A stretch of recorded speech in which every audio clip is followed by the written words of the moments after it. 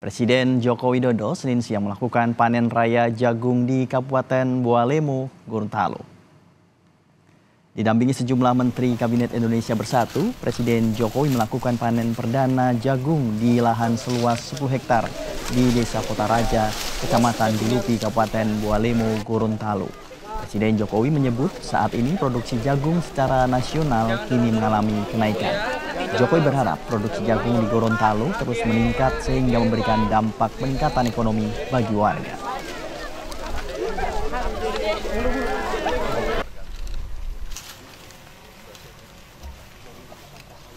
Ya kita ingin memastikan bahwa produksi jagung kita terus meningkat karena impor jagung yang dulunya tiga setengah juta sekarang sudah 400 450 terakhir. 400 sampai 450 ribu memang turunnya banyak. Tapi juga yang kedua yang berkaitan dengan harga. Harga per kilo kalau yang tahun lalu bisa mencapai sampai 8 ribu sekarang turun menjadi 4 ribu sampai 5 ribu 4 ribu 50 yang di sini tadi saya tanyakan Artinya apa? Kalau harganya sudah turun seperti itu, artinya produksinya pasti melimpah dan naik. Kita harapkan dua-duanya produksinya naik, tetapi harganya juga meningkat. Ini yang harus harus dilakukan oleh pemerintah dengan mungkin pembelian-pembelian oleh Bulog.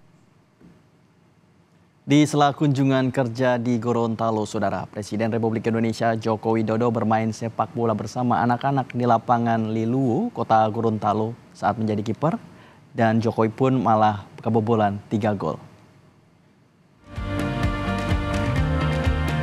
Pertandingan sekolah sepak bola Gorontalo United U12 di lapangan Liluwo Gorontalo tiba-tiba terjeda karena pergantian pemain.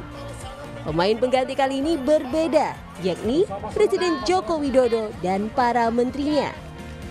Dengan menggunakan jersey hijau, Jokowi bersama Menteri Pertanian Amran Sulaiman bergabung dalam satu tim.